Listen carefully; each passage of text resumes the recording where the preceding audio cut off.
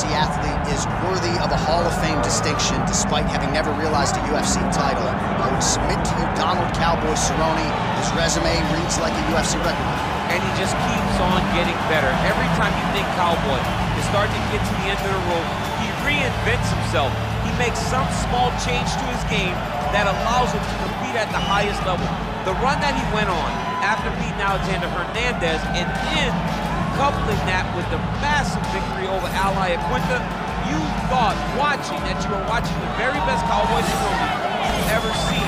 And this is at the tail end of a career that spanned over a decade. And his new source of motivation, his son Danger, these are very legitimate championship aspirations for Donald Cowboy Cerrone, trying to move one step closer to it. Donald Cerrone, ready to battle and take home that elusive UFC gold.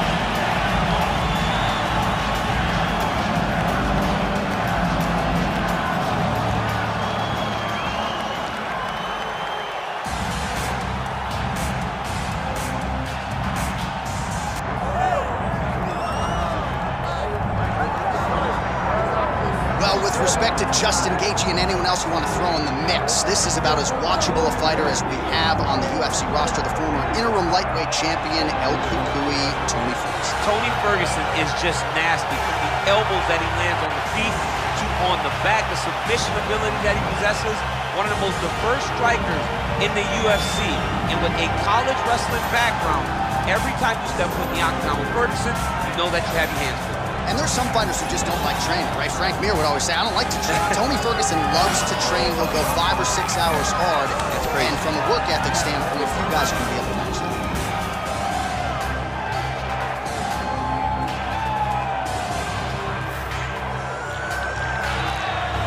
Tony Ferguson set to fight Donald Cowboy Cerrone.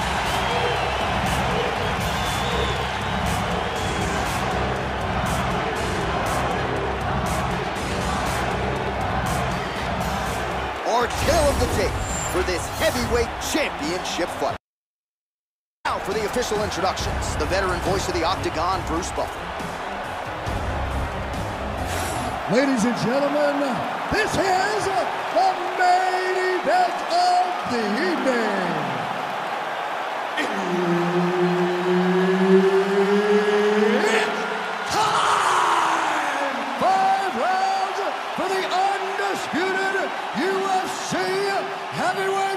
Championship of the World. Introducing first, fighting out of the blue corner, presenting the challenger, Donald Cowboy Cerrone. And now introducing the champion, fighting out of the red corner. Ladies and gentlemen, presenting the reigning, defending UFC heavyweight champion of the world, Tony El Cucuy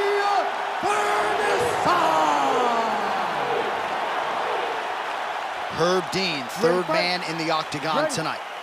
All right, so this highly anticipated stand-up only event is now underway. Friendly reminder on the rules, and hopefully you play by them. No grappling of any type. So if you like striking, this is the event for you. Also, fighters cannot do follow-up strikes on the floor. This is a stand-up only event. Let's see how it plays out And these guys have some chins on them. Huge shots being landed on both sides.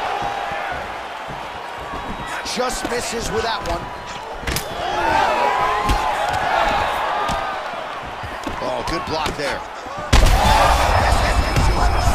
You don't really stand after you take a head kick like this.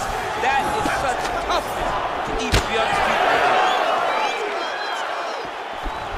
Right, so we have got a full-on brawl to start this fight. Any concern that these guys might burn themselves out? Oh, they're going to exhaust themselves.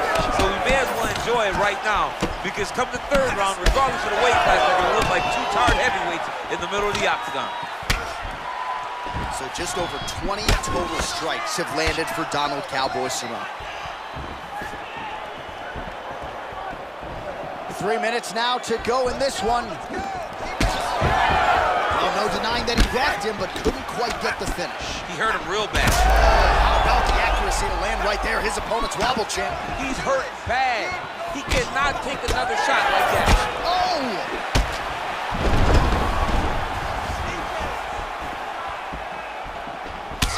Well, champ, I don't see that well, but it's hard to miss the redness underneath that elbow. A lot of bottom. Oh, Another hurt. He's hurt bad. There Cowboy Cerrone. And blocks that hard punch. Well, it didn't take him long to get a good read on his opponent. Another good series of kicks there. He thought the kicks would be the key tonight, and they sure have.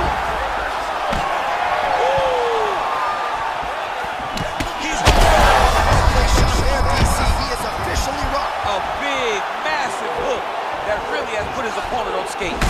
Oh, landed some big shots, too. Oh! Another body kick land. All right, so that opened up a cut around his eye area. He hasn't moved his head well. Both of them are landing massive shots. It's been a crazy fight. These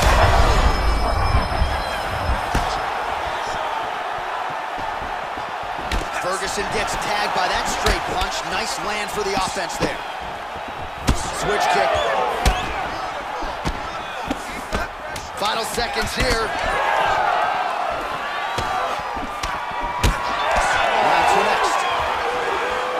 All right, so that's the end of the round. Potential adversity here. He's got a cut on his cheek sustained from that strike in the round. Now the focus becomes maximizing these 60 seconds, shutting that cut and preventing it from becoming a major factor here moving forward.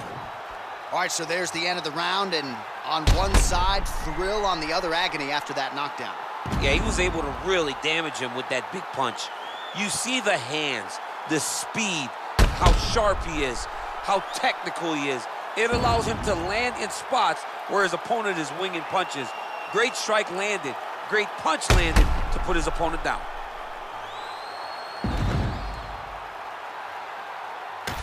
All right, here we go with our second five minutes now. Round two. Tony Ferguson and that man, Donald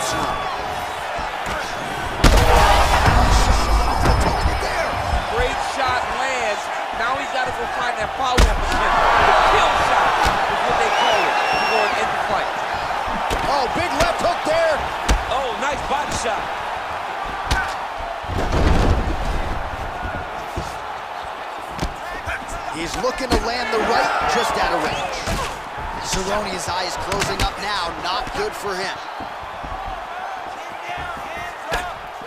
Just missed with the left there. Well, DC, headgear's not allowed, but he has raised the hands and he's doing a nice job protecting the dome. He's doing a great job of blocking his head. A lot of times, those shots to the head will knock you out. Not this time. This guy's making sure nothing lands. Oh, effective use of the jab by Tony Ferguson. So 57 total strikes have landed for Donald Cerrone. Heard him again. Back to the feet. Oh, my goodness. Well, we may have the best cut men and women in the business, but I'm not sure they're going to be able to do much with that cut. It continues to widen with every passing strike. And you're fighting a great fighter. It's hard to deal with the damage of the cut while dealing with the level of the fighter in front of you. Right now, you've got to do something different to try and change the way that this fight is playing out. Oh, picture perfect shot there, DC, and one more of those, he might be out. I mean, the fight is still standing. That shot landed perfect. And that's, that's the danger in the engagement there. Oh!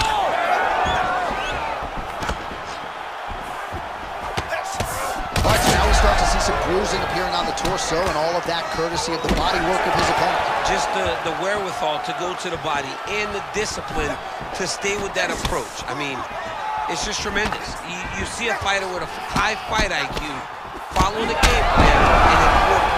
Oh! That'll do it! Tony Ferguson with a huge knockout tonight. Oh, oh my goodness.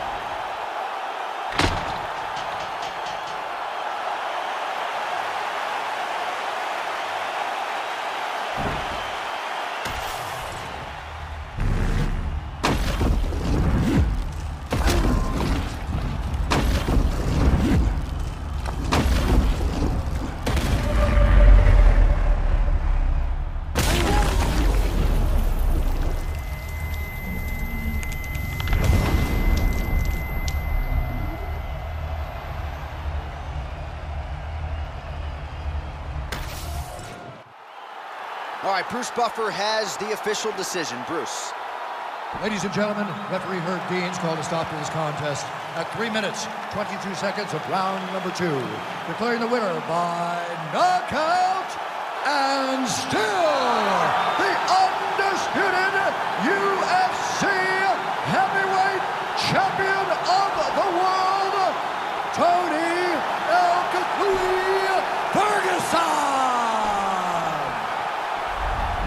Well, there's only one Tony Ferguson, and he got his hand raised in a big way here tonight. It's a pleasure to watch him train, pleasure to watch him compete, and he certainly did so at a high level tonight. Tony Ferguson moves to the beat of his own drum, but it's okay because he hears the music very